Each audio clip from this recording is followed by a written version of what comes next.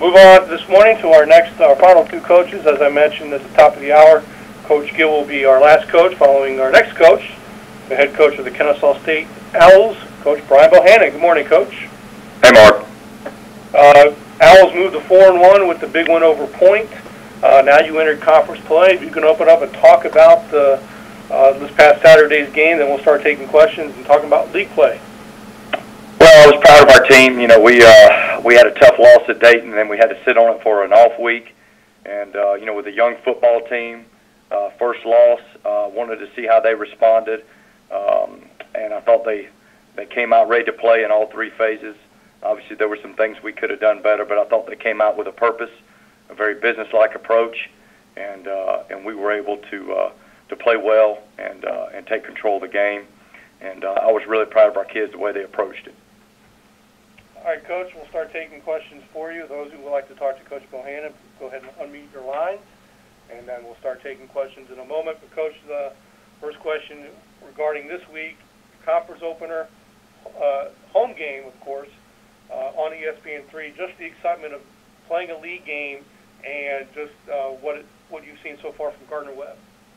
Well, first of all, our you know our, our kids are awfully excited about playing in the Big South Conference, and uh, you know, it's a great league, and, and, and I've had to keep them under control. They've been wanting to talk about it way before they needed to, but they're excited about it and excited about the opportunity. Obviously, we're playing a heck of a Gardner Webb team who, uh, as everyone saw on Saturday night, they kind of put it all together.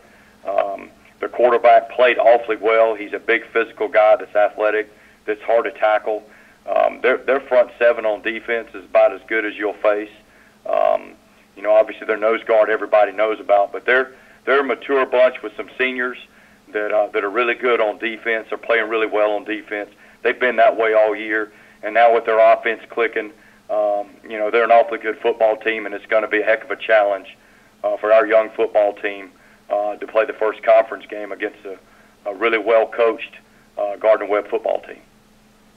And coach, from from what you observed, obviously you know Tyrell Maxwell, a mobile quarterback, similar to Trey White, just kind of some of the similarities that you may see in Gardner Webb that you're able to, to um, maybe that you've seen from your team, from how, how you guys play, that might help with preparations?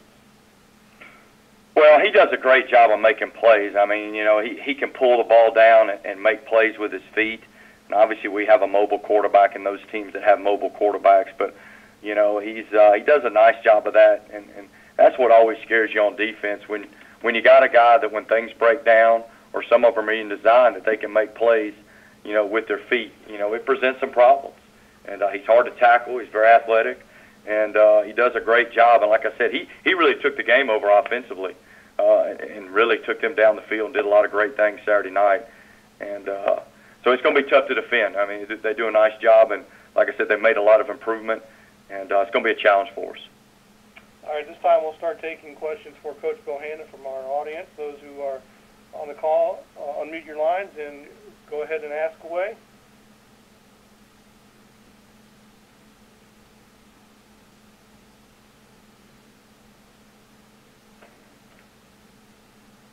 And hearing none, I'll go ahead and ask one more of you, Coach. Um, just the significance of playing Gardner Webb in your conference opener. You coached there. I think it was, I believe it was your first or second job as a football coach You coached against them at Georgia Tech in 2008, uh, the last time they actually played in Georgia. But just kind of just how that all kind of comes together. Well, you know, I, I tell you the neat thing. I told the story several weeks ago. We uh, shoot, we Georgia Tech had to beat Gardner Webb by blocking a field goal. And those guys came to Bobby Dodd Stadium, and uh, and and and we had to we had to block a field goal to win the game. They played unbelievable that day, and uh, and Coach McCray's done a great job there. The kids are well coached. They know exactly what to do and where to go.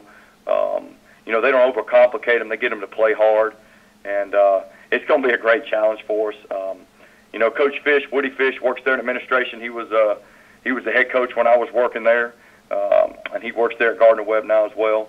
But uh, but at the end of the day, it's going to be about our players, and obviously Gardner Webb's players going out and competing in the Big South Conference, and uh, we're awfully excited about the opportunity. All right, Coach. Any final questions for Coach Bohannon? Feel free to ask.